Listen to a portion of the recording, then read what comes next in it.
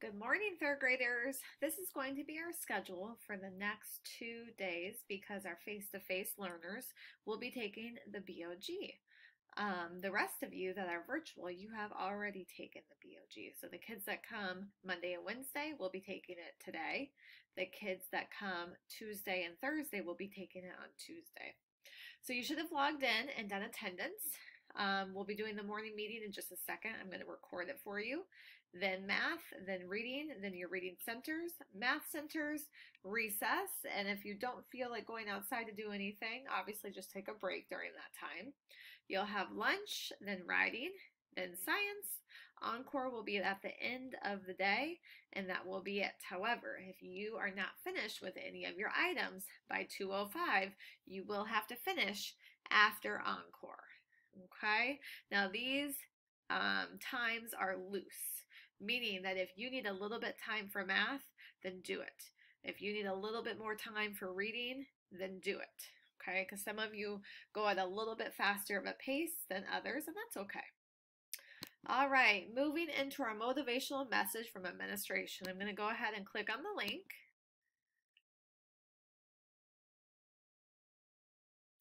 And here, I'm going to press the play button. Good morning, Dragons, and happy Monday.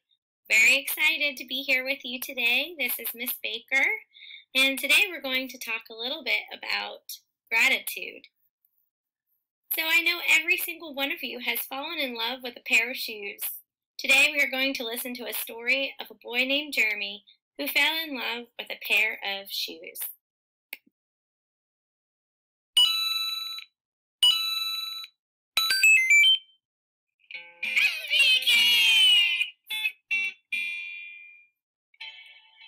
those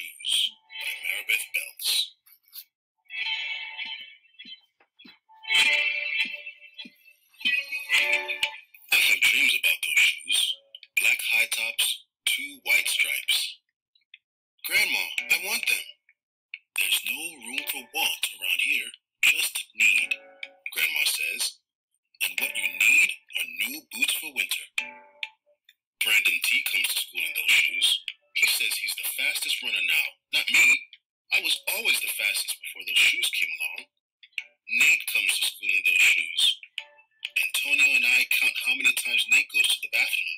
Seven times in one day, just so he can walk up and down the hall real slow. Next, Alan Jacoby and Terrence each get a pair. Then one day, in the middle of kickball, one of my shoes comes apart. Looks like you could use a new pair, Jeremy, Mr. Alfrey, the guidance counselor, says. He brings out a box of shoes and other stuff he has for kids who need things.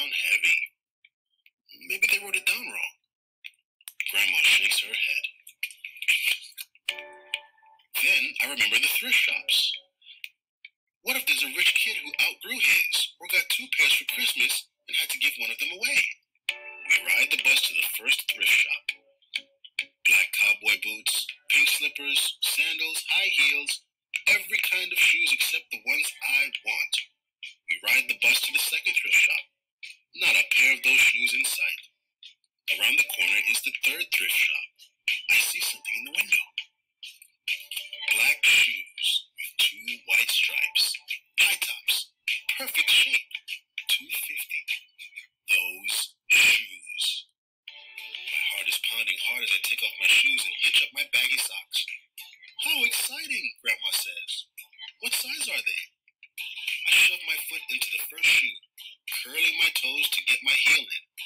I don't know, but I think they fit. Grandma kneels on the floor and feels for my toes at the end of the shoe. Oh, Jeremy, she says, I can't spend good money on shoes that don't fit. I pull the other shoe on and try to walk around. They're okay, I say, holding my breath and praying that my toes will fall off right then and there. But my toes don't fall off. I buy them anyway with my own money, and I squeeze them on and limp to the bus stop. At home a few days later, Grandma puts a new pair of snow boots in my closet and doesn't say a word about my two big feet shuffling around in my two small shoes. Sometimes shoes stretch, I say. Grandma gives me a hug. I check every day, but those shoes don't stretch. I have to wear my Mr. Alfreys to school instead. One day during math, I glance at Antonio's shoes. One of them is taped up, and his feet look smaller than mine. After school, I head to the park to think. Antonio is there, the only kid who didn't laugh at my Mr. Alfrey shoes. We shoot baskets.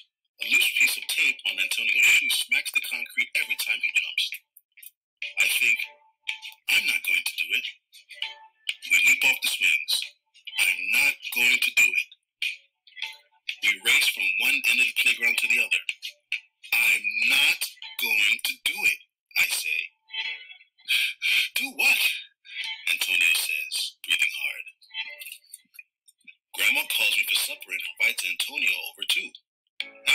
He spies my shoes. How come you don't wear them? Antonio asks. I shrug. My hands are sweaty. I can feel him wishing those shoes were his. That night, I am awake for a long time thinking about Antonio. When morning comes, I try on my shoes one last time. Before I can change my mind, the shoes are in my coat. Snow is beginning to fall as I run across the street to Antonio's apartment. Put the shoes in front of his door, push the doorbell, and run. At school, Antonio is smiling big in his brand new shoes. I feel happy when I look at his face, and mad when I look at my Mr. Alfrey shoes. But later, when it's time for recess, something happens. Everywhere, there is snow.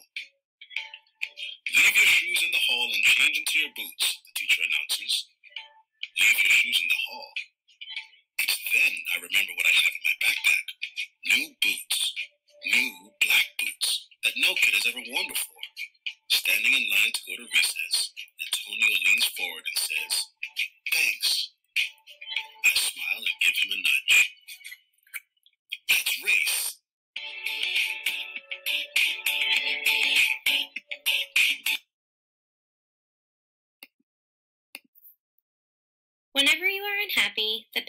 happiness starts with gratitude. The more you focus on what you don't have, the more unhappy and ungrateful you are. Happiness comes from the inside. It starts by focusing on what you do have. And gratitude is the key to happiness. In the story shared today, Jeremy is focused on what he doesn't have, and it makes him more unhappy. But when he focuses on what he does have, a good friend, he discovers happiness. Gratitude focuses our heart on what we do have. This month, our entire nation remembers all that we have, and it is a lot. No other country in the world has a day set aside to give thanks. Thanksgiving is coming up, and it is the perfect time for you to display and show gratitude. You may want to think about everything that makes you happy. A good way to do that is to make a list. Whenever you are sad, go and read the list and see if you can add to it. Taking the time for gratitude is so important for our peace of mind and our happiness. It is a great way to remind yourself how lucky we are and who we have in our life supporting us along the way. So, on this Monday, let us be grateful, not for just the material things given to us, but for the small ways that we have get to give to others. Have a great Monday, Dragons, and I look forward to seeing you soon. Take care. All right, so that was the Motivational Monday. I am going to save the SEL lesson for tomorrow. So, again, you will click on a link just like you have today for the morning message, and we will do the SEL lesson tomorrow. We did the motivational message from administration today. And then on Class Dojo, I would like you to get on this morning and I would like you to share one thing with me that you did over the weekend. Okay, some of you like to share a lot, which is okay, but I would just like you to share one thing. Okay, so go ahead and go into Class Dojo, like I've shown you through Clever, and record yourself telling me one thing that you did over the weekend. All right, boys and girls, that is your morning meeting for this morning.